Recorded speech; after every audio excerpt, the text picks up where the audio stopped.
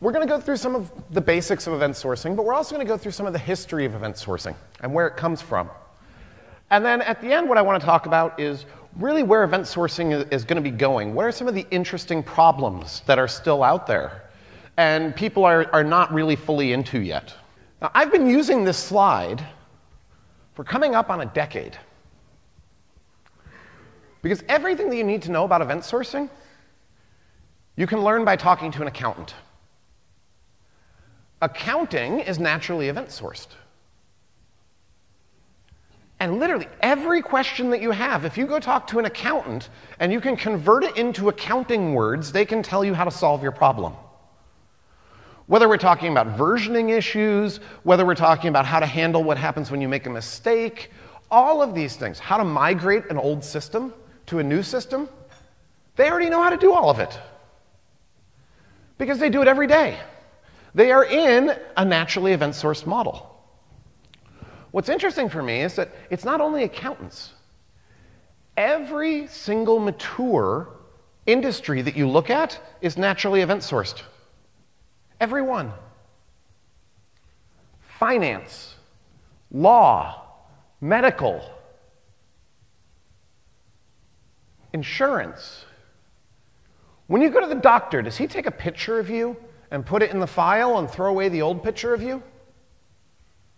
Or does he constantly keep appending things to the end of your file? It's a naturally event sourced model. Legal. What happens if you sign a contract? And then a year later, you want to make a revision to the contract. Do you just go cross out a paragraph and you and somebody else initial it? Or do you add an addendum to the contract? And over a period of five years, we may end up with many addendums being put on the end of a contract. In order to figure out what the contract currently says, I take the original contract and then I apply the addendums on top of it. You'd be amazed how many of these systems are naturally event sourced. And there's a lot of reasons for why we may want to natural, why we may want to event source something. But there's one really, really important reason it doesn't lose information. How many of you have an update or a delete statement in your system today? Okay, now keep your hands up if you went and had a conversation with the CEO about the cost benefit analysis of that information. How much does it actually cost to store everything? What is that data going to be worth in the future? As a CTO, I had one rule for my organization we won't lose data because I have no freaking clue how much it's worth. Can you predict what your company is going to ask you in two years about today? If you can't predict that, then you have no idea what the value of which data actually is, because it can change over time. Which is more expensive, to store 10 gigabytes of information or Coke? How much data can you fit in 10 gigabytes? It's an awful lot of data that you deleted that you could have just kept. But the thing is, I have no idea how to value this information. So we kept everything. Now, keep in mind, we're going back to like 2005, 2006. There were points where we were storing 100 gigabytes a day. Can you imagine back then storing 100 gigabytes a day? We'd use big external NASs and we'd store all this data on them. And you know what? It took a really long time to get it off. Why? Because when you have 100 gigabytes a day and a 100 megabit network, to get data off like took a weekend. But I have it. What's interesting is that you'll find that an event source system is the only system that will not lose data. And I've had people show me their SQL database for an accounting system. And then I went and looked, and there was one table called transactions with a transaction type. And depending on the type, they would join off to another table to get the data out. This is still an event source system. It's just they're using a different serialization format. But no matter what other system you pick, you're going to lose some amount of information. And it's this losing of information that can cause a huge amount of problems. Let's take a look at this quintessential piece of state. And I've used these four slides literally forever. So here we have a cart with n line items and some shipping information associated with it. What we're looking at here is the structure of this information. We're looking at the shape of the information. But this is not the only way of dealing with this. Another way of dealing with this is we could actually store some events. So here we have a cart created, three items adding, and shipping informati audited. But at any given point in time, I could replay these five events, and I could build you this, correct? I could take my five events, play them back in memory, and hand you back a piece of state. But what we store are the events. And there's a lot of benefits to storing the events as opposed to storing the state. How many of you have written a SQL migration script before? It's fun, right? So, one of the main benefits about having events in a log is events are much easier to version than state is. And I refuse to actually do a big bang release ever again, where I take the system down, upgrade it, and then bring it back up. I will always do side by side releases. Why? Because I'm scared. I am not scared that I'm going to take the system down, try to release it, and then everything's going to break. Why? Because I'm going to do a rollback. What really scares the crap out of me is I'm going to take it down, release it, bring it back up, and everything's going to work for a week. And then it breaks. So you guys are all writing SQL migration scripts. How many of you write SQL migration scripts from the new version back to the old version with data having been written to the new schema? Not nearly as many. So I've always joked on, on teams that I've worked with in the past, we came up with a good strategy for this. You had your choice. You could either wear the fireman hat or the cowboy hat. Um, the hats were basically a token to let people know that you were working in production. Without fail, whenever you're working on a big problem in production, somebody will come up to you and want to talk about the Christmas party. The hat is basically to tell them, look, I'm working in production right now. Unless you have something material to my issue, go away. But when we store events, events are much easier to work with running side by side versions. Why? Because we're actually taking our state and deriving it off of our events.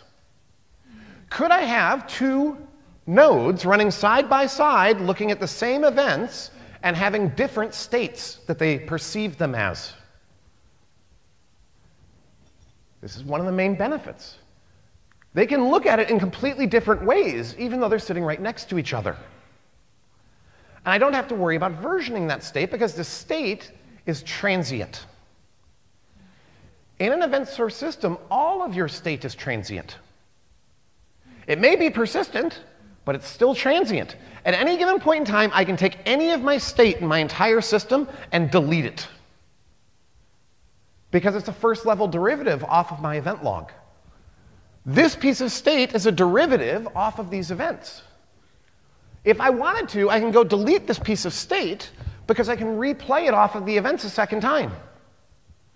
Now, this may be an expensive operation depending on what your system does, how many events you have, but you can do it.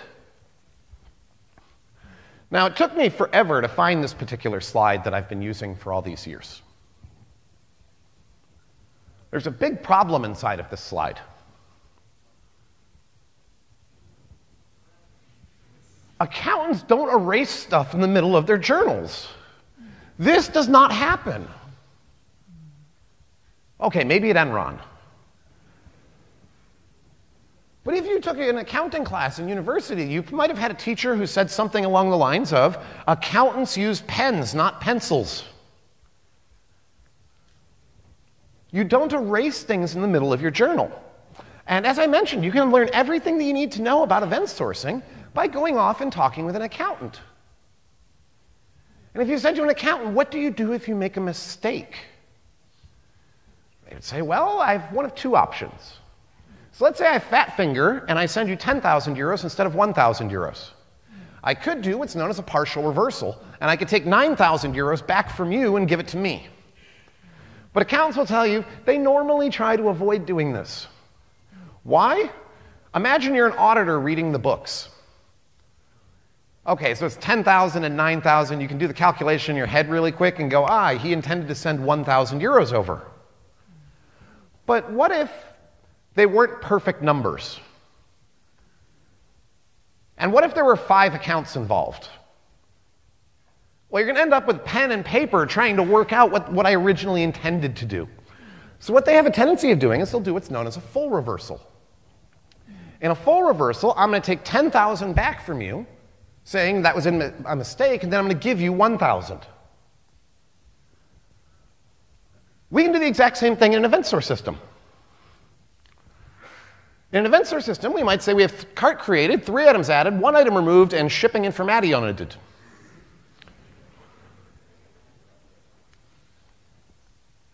Is this the same as cart created, two items added, shipping information added? Well, this is always a fun question. Because you have some people in the room going, yes, and some going, no. And the answer is it depends. What perspective do you have on the data? If I have this perspective of the data, those two will come out and be the same at the end, correct? What if I had a different perspective? What if I was instead counting how many times an item was removed? Then they would have very different answers. There's also a fun game you can try playing in your own system. Can you come up with two sets of use cases that leave your database at the same state when they're done. So here we had two sets of use cases that would return us the same state when we looked at it from this perspective. If you can find that in your system, you just proved something to yourself. You're losing data. I'm going to come back to the question how did you decide the value of that data that you're losing? By definition, if you have two sets of use cases that come to the same endpoint, you have lost something. And it's not losing of data. It becomes more valuable when we start looking at an example. Let's try this one. Let's imagine that we were a big online retailer. So we've got all of our carts and the business guy comes to us and says, I think that people that remove items from their cart within five minutes before they check out are more likely to buy that item in the future. It makes sense, correct? Why do you remove an item five minutes before you check out? Well, you went and looked, and you saw all those books from Amazon were going to be like 400 euros. And you thought, my wife's going to kill me if I order that. So you take two or three, three things out of your cart and then you check out the rest. So let's add the feature to this stateful model. So we're going to get a new one of these things coming off the bottom, which is going to be called removed line items. And when we remove a line item, we add it to the removed line items. And then we write a report that looks at removed line items and then does a nested subquery to see if you ended up going and buying this in the future. We release it to production, the user runs it, and they see nothing. We had lost that information coming all the way up until today when we started tracking it. Let's try it in this model. So, what we're going to write is known as a projection. A projection is just a little piece of code that goes over an event stream and it produces a piece of state. In this case, what we're going to do is when we see the item removed, we're going to take the ID of the item and put it into our state, as well as the time that it was removed. We're then going to look for the shipping information added. When we get the shipping information added, we're going to basically look at the items that we found and see if any of them were within five minutes. If they were, we're going to mark that we're searching for them in the future found equals false. If we found the guy that bought this item in the future, we mark it as being true. Now, what I have not told you about projections is that a projection must start on event number zero and come all the way forward into the log until it reaches now. This may take a weekend. You may have 100 million events that it needs to go over. You could have half a billion events that it needs to go over. But it's an asynchronous operation. So it goes all the way through, and then we write a report on the state that it put out. Business user goes and runs his report, and he sees all of the information as if it's always been there. But we can actually do one better.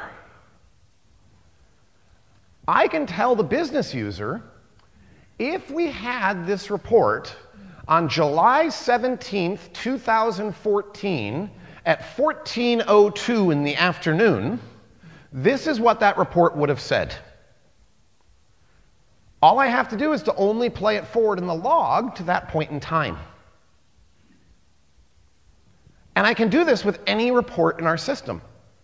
When you give me a new report today, I can tell you what it would have told you at any point in time during the entire lifetime of our system. That's pretty cool. And it's because everything has gone back to being deterministic and we're not losing information.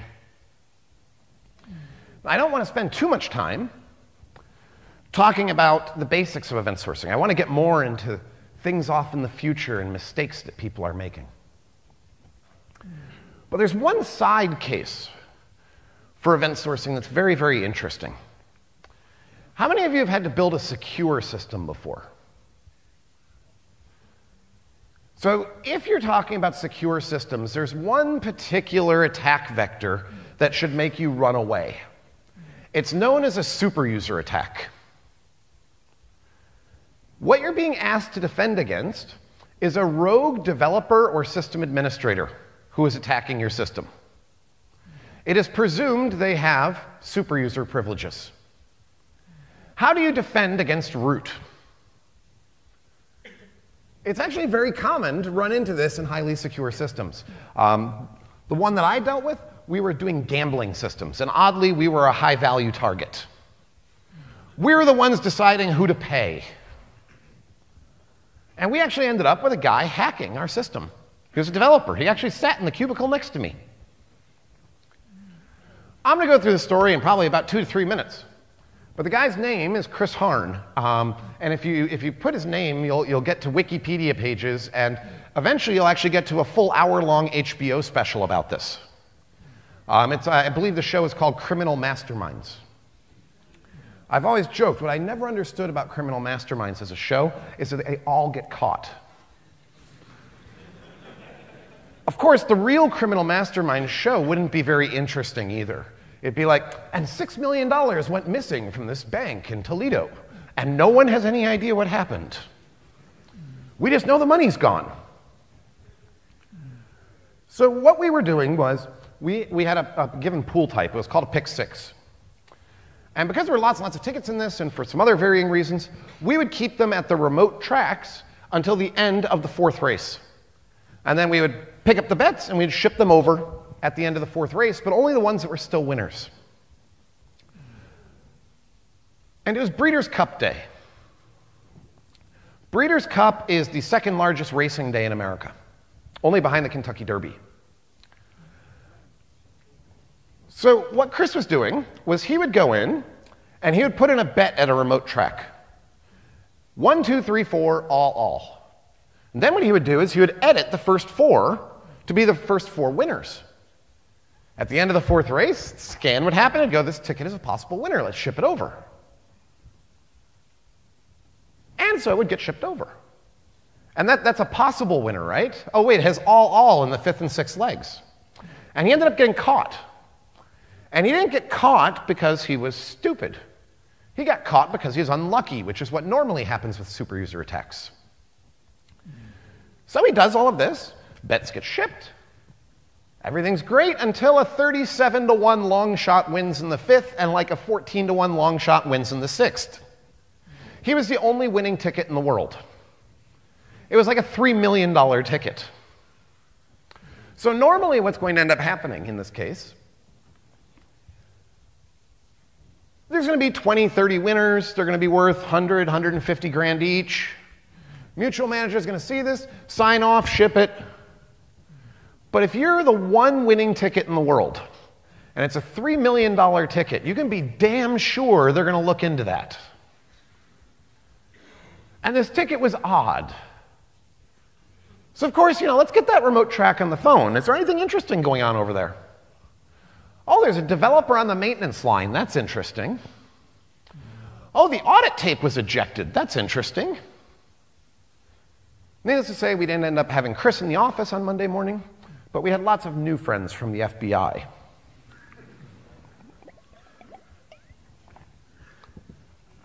But we could have gotten around this problem. We could have gotten around this problem by using a worm drive.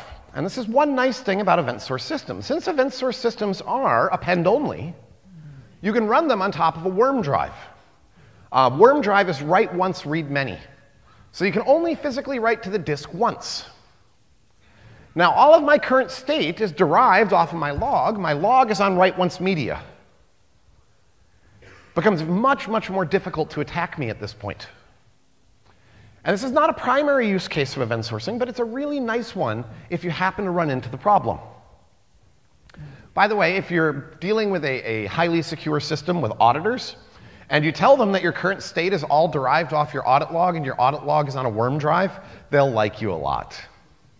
It's basically the gold standard for building these kinds of systems.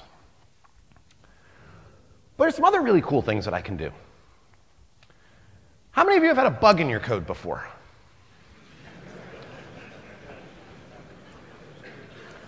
Actually, a friend of mine, uh, Hadi, uh, Hadi Hariri, when I went and looked, he had a picture the other day. Apparently, he had an ant inside of his screen of his laptop.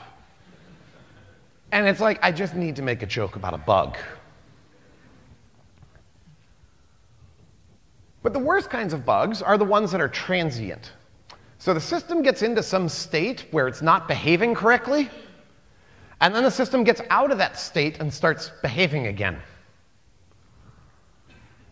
Why? Because they're very difficult to track down.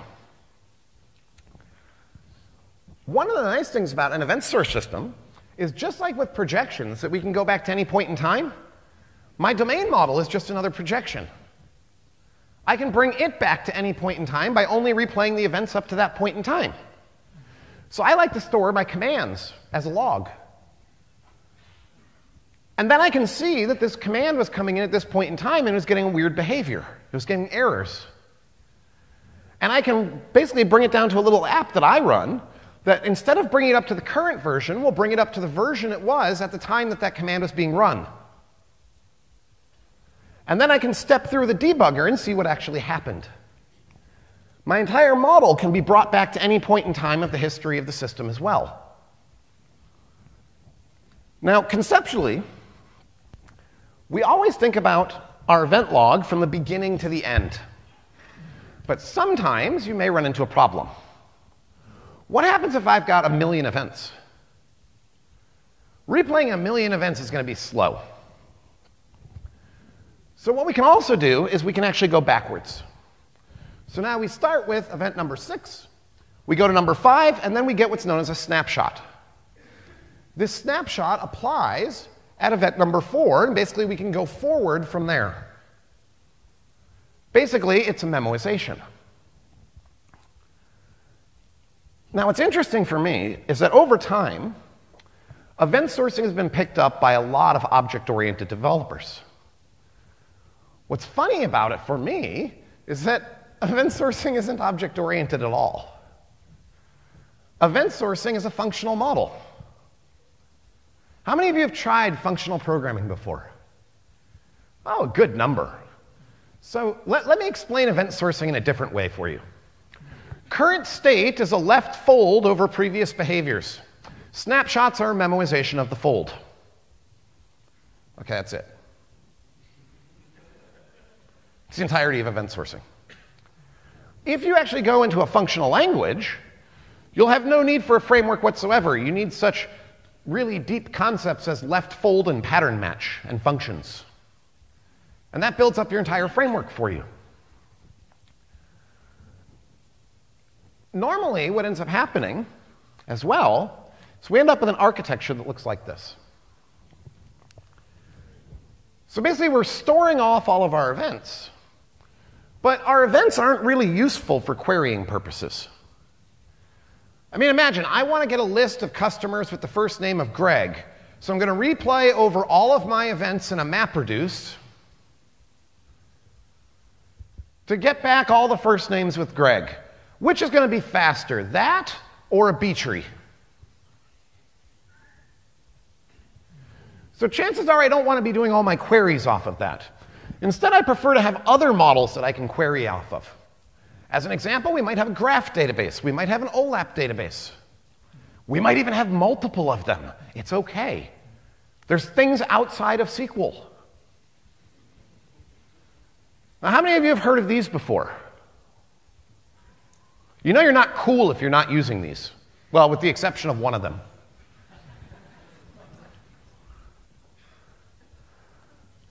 But I'm, I'm going to tell you a little secret. There is no best storage. Every database on the planet sucks. Even EventStore. EventStore sucks too. In fact, when I see these, what I am reminded of is these. Ah. How many of you remember object databases?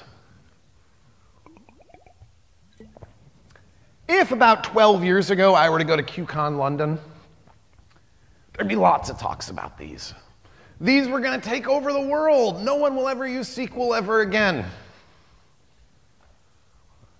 In fact, using an object database, it has no impedance mismatch with your domain model. It's so freaking cool. About 10 times faster than using SQL. And you don't have to write all that crap mapping stuff. How many of you use an object database today? Should have had a sound effect for crickets. So, what happened? I thought they were going to take over the world.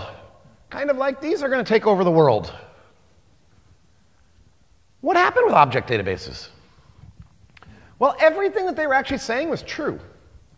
They were 10 times faster. They had no impedance mismatch. It was actually really cool. And then you put your system out in production, and then some cheesy business guy comes up to you and goes, Hey, can I get a report of all of our sales rolled up by postal code in town? And you go, That means I need to load up like 200,000 objects into memory and iterate over them. You seem to remember there was this thing called like group by. Object databases suck. No, they don't. Object databases suck at OLAP. And they suck really, really hard at OLAP. They're terrible for it. In transaction processing scenarios, they're, they're, they're reasonably good. But for OLAP, they're terrible. This is part of why SQL is, is going to be popular forever. SQL is not amazing at anything, but it's not utter rubbish at anything either. You can always get your, your thing to work. Whereas when we start talking about other forms of databases, they tend to be very, very good at one thing, but then really, really bad at some other things. And what you'll start learning is that in most systems like this, you don't want to have a single model. You want to have multiple read models so you can query off of. Why? Because using a single model will introduce massive amounts of accidental complexity to your problems. How many have heard of this startup? So, I don't know how many people have actually read into the history of them and so Twitter at its core is a topic-based pub sub, correct? So if I were going to implement this, you know what I would do? I would ignore decades of research in the financial industry on topic-based pub subs, and I would go take Ruby on Rails and MySQL as my toolchain. They got to the point they had hundreds and hundreds of MySQL nodes trying to keep up with their workload. And the entire thing was nothing but accidental complexity. They replaced it with less than 10 nodes later by bringing in people that actually had a background building out topic based pub subs. The entire problem that they had, if you guys remember the fail whale, it was all accidental complexity. Nothing more. And you'd be amazed how many problems you can get into where everything around you is accidental complexity. Your 16 month project could have been done in a day with a different decision. Everything around you is accidental complexity. The worst part about this is you normally can't see it and recognize it when you're inside of it because it feels like real complexity to you. Let's try another example with SQL. So here we have an ID, a parent ID, and some data. How many of you have built this before? So now we, we go and we release this to production. And they come back and go, well, this report's been running for 14 minutes.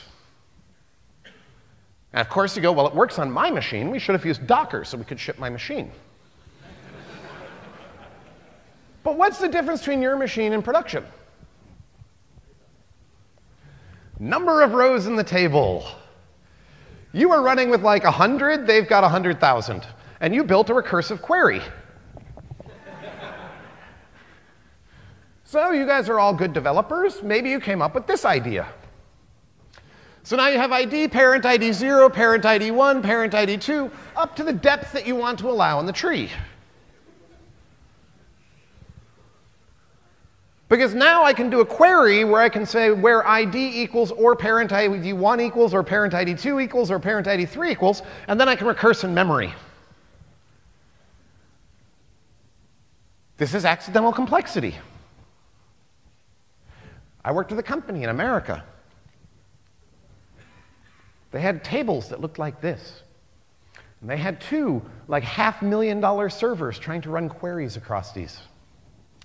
So they had one table which was people, and another table which was relationships. What are they trying to do? Well, they're trying to figure out if I can get a link to him through other people that I know based on certain relationship types. half million dollar servers running these queries. They have half a terabyte of memory in them, arrays of SSDs.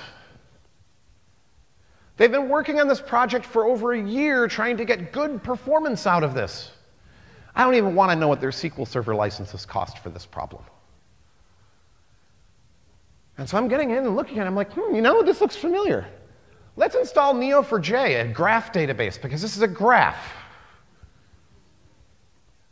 My laptop outperformed their $500,000 servers.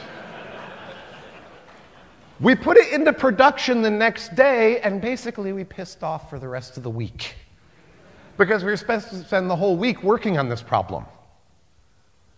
But this is common. And when we talk about this kind of levels of accidental complexity, it's not like I'm going to reduce your budget by 5%. It's like 10 developers working for a year on something versus half a day. The wrong kinds of models can cause a ridiculous amount of accidental complexity. And the really awful thing is, you don't see the accidental complexity until somebody can come and point it out. I have watched teams get in the weeds trying to use JSON inside of Postgres and then you show them that there's other databases that actually support Postgres uh, uh, JSON too. And here's how they work. And they go, oh, well, that's so much easier. Or trying to use full text indexing inside of their database, as opposed to using something like Lucene or Solr. Huge amounts of accidental complexity come off of this. And remember that in these kinds of systems, we can have multiple models. But this is one place where a lot of people get screwed up in event source systems. And they like to do this. You know, it wouldn't be a PowerPoint presentation if there wasn't a big square that said bus on it someplace.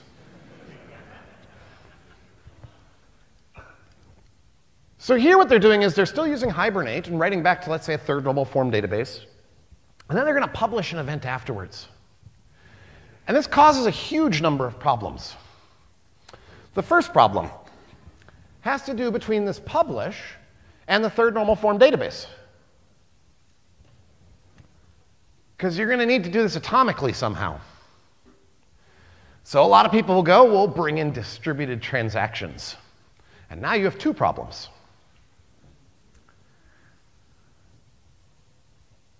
But there's other issues that come up inside of this. To be fair, you can get around the distributed transaction problem by making your database into a queue. And this is what a lot of people do. They'll actually create a table named queue and insert their events in, as part of the transaction into that table and read them out asynchronously to publish them onto the bus. But there's a, a more sinister problem in all of this. What happens when I put in a new model? How do I get all the old events to build out my model?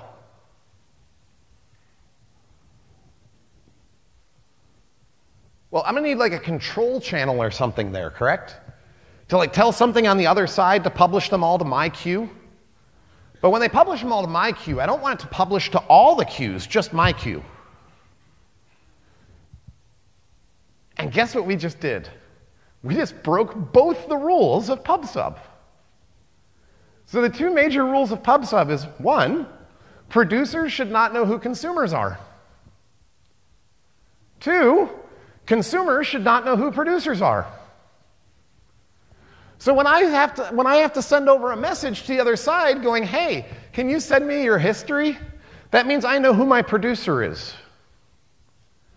And on the back end, in order for my producer to send them to just me, he needs to know I am his consumer. And just think about the IT ticketing system with this, it'll be fun. But we run into a lot of problems here when we try to replay models. Also, what happens with the old data coming over and now I'm publishing new events? Do we put them in with the old events? Do I, do I hold them all and give them at the end once we're caught up again? Of course, if we're using an event source system, our event log, we, we saw earlier, it's basically conceptualized as just an appending file.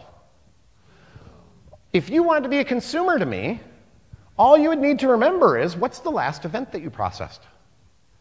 We could do this with a simple one method interface.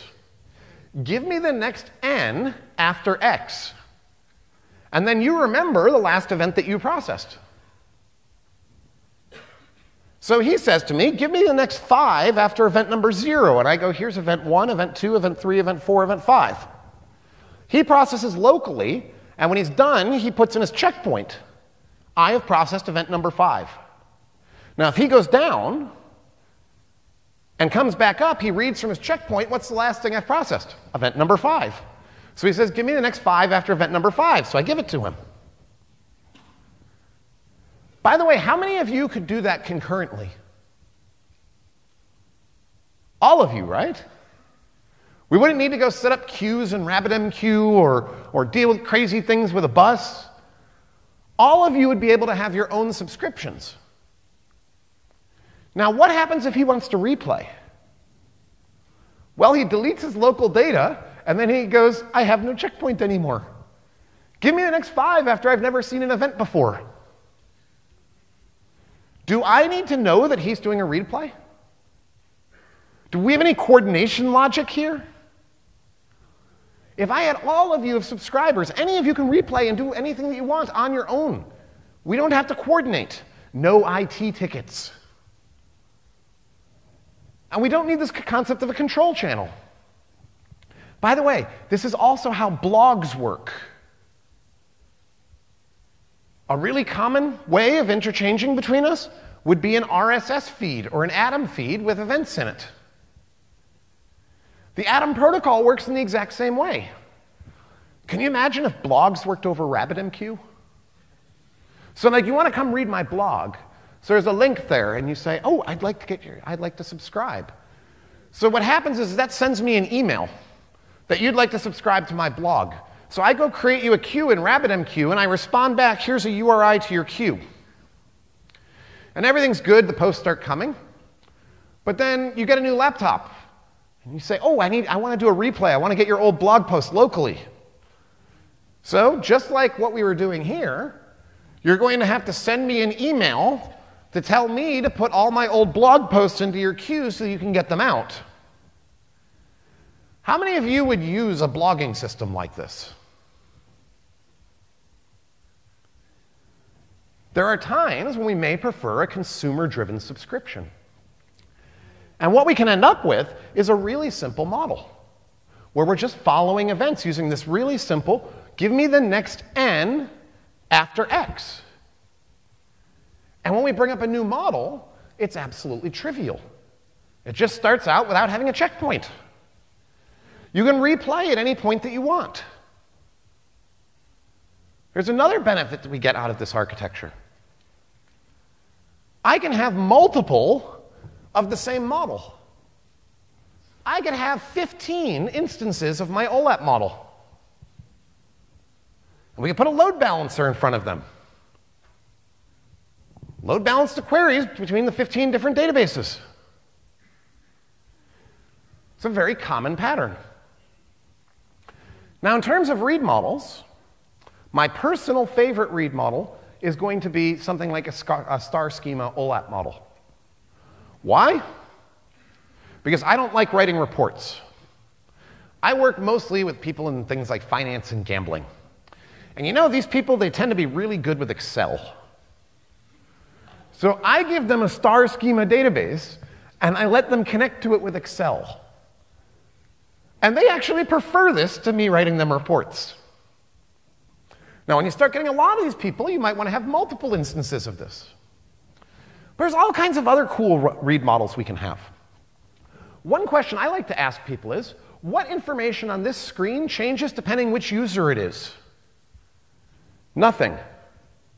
Why no great read model then? HTML on disk. I'm pretty sure we know how to scale static HTML these days. But the key here is we must be able to replay this information. Now, briefly, I want to talk more about the future of where we're going. Because there's a lot of areas that are very, very interesting, but a lot of people haven't gone into them yet. The first one is functional programming. Too many people are doing event sourcing in object oriented languages. Try the functional way of doing it. It's so much cleaner. And to be fair, you'll actually understand event sourcing a lot better as well.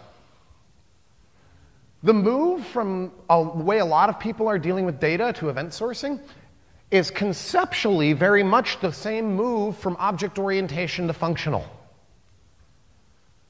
Where in event sourcing, everything is immutable and append only.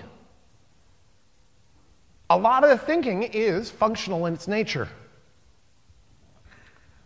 Next big thing multiple timelines. And you've all probably dealt with an n temporal system before. How many of you have a bank account? Have you ever noticed that you have two balances? One is called a ledger balance and the other is called an available balance. What they're representing is that when I put a transaction in, I may not necessarily be putting a transaction in that is effective right now. And the two different balances represent two different ways of looking at the same timelines. One is on when it came in, the other is on when it's effective. And there's a lot of work going on with this right now and trying to get into systems that effectively deal with n temporal data. This is a huge problem for a lot of financial companies trying to maintain n versions of timelines. And in event source systems, this is actually relatively easy to do.